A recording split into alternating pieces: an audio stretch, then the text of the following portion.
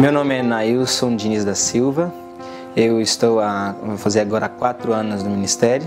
Eu trabalho na Associação Amazonas Roraima, distrito de Colônia. Eu tenho 22 igrejas. A maioria delas é, são comunidades ribeirinhas à margem do rio Amazonas, Alto Amazonas.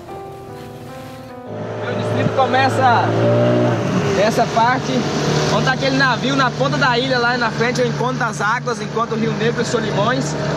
Então pega dentro da margem esquerda, margem direita do rio, tem essa ilha, essa ilha do Careiro, todo, essa ilha é o município do Careiro da Vargem. Aí tem o encontro das águas, pode, daqui dá pra ver a, a diferença de cor de água, água, água escura e água branca. E nós vamos descer aqui agora mais 60 quilômetros de rio para poder chegar nas nossas igrejas. Vamos embora nessa viagem!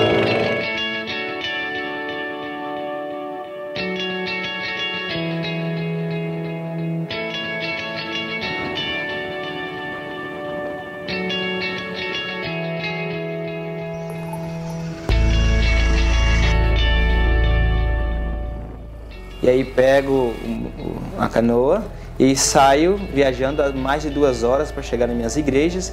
E tem região que eu tenho que chegar, deixar o barco na, na beira do rio, andar 5 quilômetros dentro da mata, chegar lá pegar outra canoa e andar mais uns 15 minutos para chegar na igreja.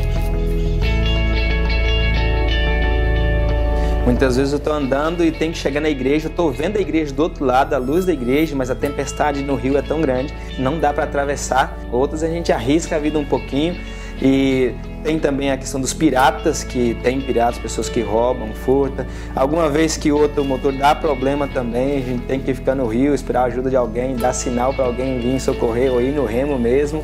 Tem outra dificuldade aqui para nós que é o custo, que é um pouco limitado, então a gente não consegue é, chegar andar muito porque o, o, o, gasto é grande e a gasolina aqui é R$ 4,50, R$ reais a gente encontra nos flutuantes.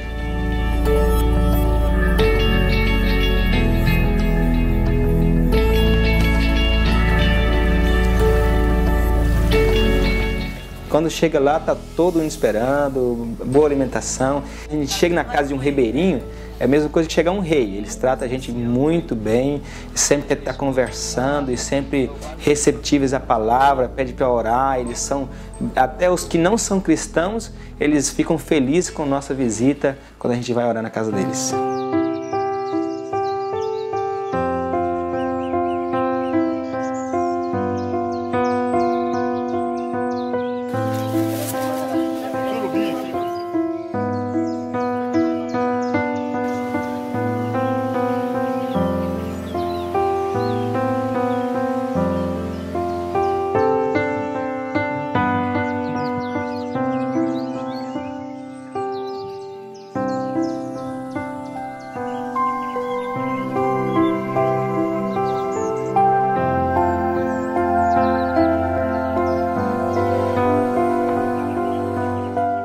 Nós temos regiões de várzea que alaga muito, né, que alaga tudo, e as pessoas moram em flutuantes. E aí veio a ideia de a gente fazer uma igreja também flutuante, assim como as pessoas moram.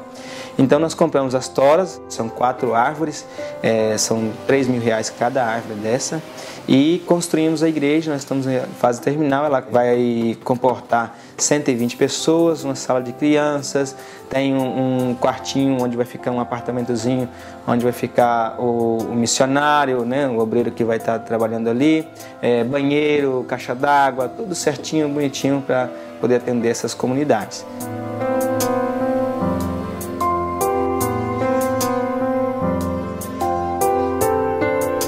Quando a gente chega na igreja, aí tem que fazer é, treinamento, tem que visitar as pessoas interessadas, pessoas doentes, comissão de igreja, santa ceia e sempre, sempre batismo. Os irmãos trabalham bastante e quase vezes que eu vou nas igrejas tem batismo, fazer batismo também.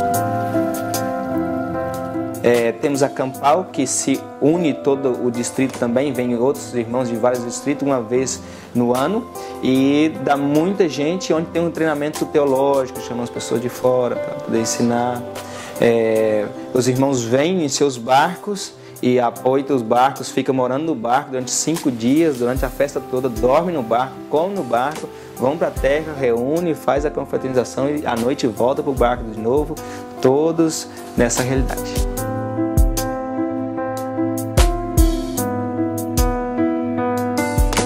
E a maior alegria minha é sentir realizado e sentir útil. Os irmãos fazem você se sentir útil. E estou num lugar onde eu sei que eu posso atender às necessidades das pessoas. E minha esposa também da mesma forma. Eu me sinto muito feliz quando eu chego encontro os irmãos, assim, esse carinho todo deles por nós. Assim. É incrível. E, e, como eles ficam sedentos assim, da nossa presença também. Porque como ele tem muitas igrejas, é difícil de estar muito tempo em um lugar só. E quando a gente vem aquela festa, isso tudo vai alegrando muito o nosso coração. E eu hoje eu não, sou muito grata a Deus por essa vida, assim, não sei como seria se fosse diferente.